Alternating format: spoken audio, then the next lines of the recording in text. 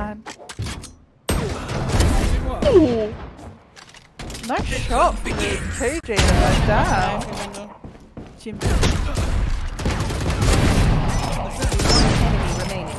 Quickly drop the drop the breach. Drop the breach, Randall.